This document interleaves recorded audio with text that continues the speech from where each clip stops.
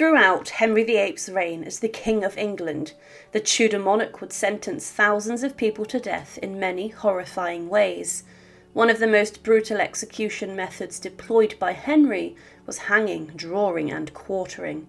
People were paraded behind a horse being dragged through the streets, and they were then sentenced to a disgusting ordeal at places such as Tyburn in front of bloodthirsty crowds. But in 1531, there was a crowd that were gathered at Smithfield, a traditional place of burning at the stake, and they would witness an execution which would haunt them until the day they died. Richard Roose was brought from the Tower of London, and he was boiled alive in a large pot. It was a sign of Henry VIII's brutality, but it's believed the king had crafted Roose's execution and had ordered it to take place in such a way. But what is the story of this, and why did it happen? Henry VIII, around 1525, was infatuated with Anne Boleyn, who would become his second wife, but Anne refused to sleep with Henry before marriage. Because of this, he tried to appeal to the Pope for a divorce, and he would not give in to this. The Pope's refusal led to Henry trying to rally support for the annulment or divorce from Catherine of Aragon from many leading churchmen across England, but many were in opposition to it, including Bishop John Fisher, who was the Bishop of Rochester. Fisher was a vocal opponent of the divorce, and in public supported Catherine of Aragon. Fisher, for his actions and speeches, was unpopular with Henry VIII, and Anne Boleyn outwardly claimed how she despised him and how she hated him. It was said that Henry feared no one in England more than Fisher, as he had always defended Catherine without respect of persons. Fisher was later advised to not come to Parliament, where he was expected to speak out against Henry and Anne. However, in early 1531, around this very time, something incredibly suspicious occurred inside of Bishop John Fisher's household. It was the early afternoon of the 18th of February 1531, and Fisher had invited a number of guests for a meal. They were dining at his London house in Lambeth Marsh, and something terrible happened. An Act of Parliament described what happened, saying, On the 18th day of February 1531, one Richard Roose of Rochester, cook, also called Richard Cook, did cast poison into a vessel full of yeast or barm standing in the kitchen of the Bishop of Rochester's palace at Lambeth Marsh, by means of which two persons who happened to eat the pottage made with such yeast died.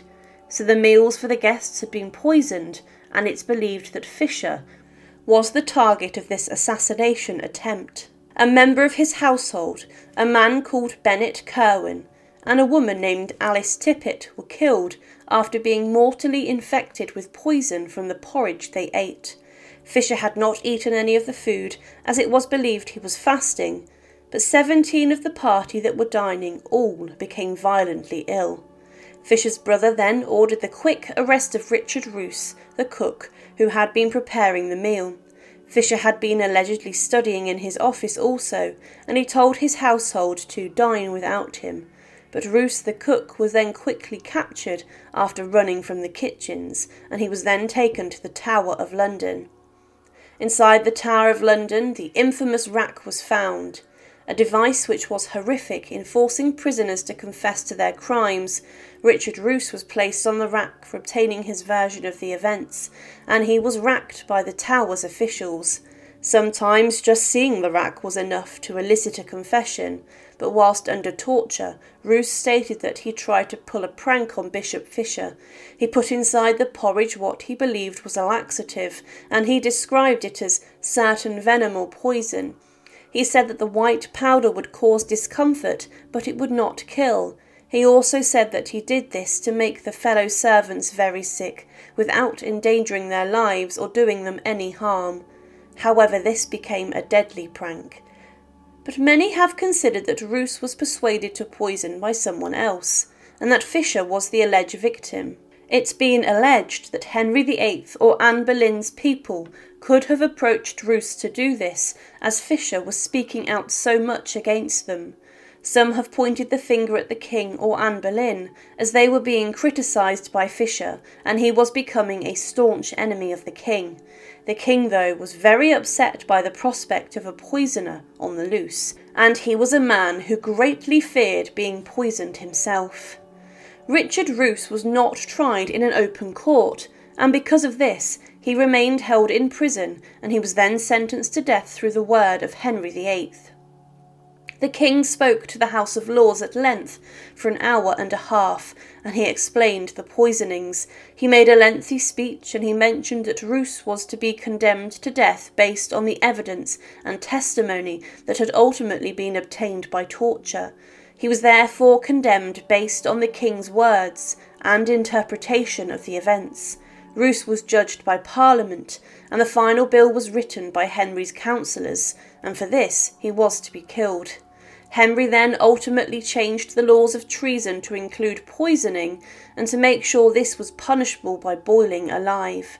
The king insisted on this treatment, and the Act of Parliament said, The said poisoning be adjudged high treason, and that the said Richard Roose, for the said murder and poisoning of the said two persons, shall stand and be attainted of high treason, and shall be therefore boiled to death without benefit of clergy, and that in future murder by poisoning shall be adjudged high treason, and the offender deprived of his clergy and boiled to death. It was believed that the boiling alive execution was a symbolic retribution, and the boiling idea was Roose being introduced to a pot of boiling matter, almost like he was the poison that he had also added. The sentence was carried out at Smithfield on the 15th of April 1532, and it took allegedly two hours for him to die. The Chronicle of Grey Friars in London stated that Roose was tied up in chains, and then he was placed in an iron gibbet. He was secured, and then he was lowered in and out of the boiling water three times until he was dead. The manner of his execution was completely brutal, and it was said that it was done in this way to mock Roose's job as a cook and to add a sense of revenge. It was done to make sure he really did suffer. One account of the execution says, He roared mighty loud, and divers women who were big with child did feel sick at the sight of what they saw, and were carried away half dead and other men and women did not seem frightened by the boiling alive, but would prefer to see the headsman at his work. But the death of Richard Roose did not lessen the threat against Bishop John Fisher. It was said that shortly after the poisoning, a number of shots from a cannon were sent through Fisher's house, and this damaged his roof. He was inside the study when this happened, and it was clear someone was trying to kill him. There was only one man at the top of the country who would have had power to issue the navy to use their cannons to strike inside of a busy London, and conveniently they were aimed at his house. There were many people whose suspicion fell upon the king, and still today the execution of Richard Roose has remained a dark mark on the Tudor period, a time of great execution, torture, and horror. Thank you for watching, and to support, please subscribe to Her Remarkable History. Thank you.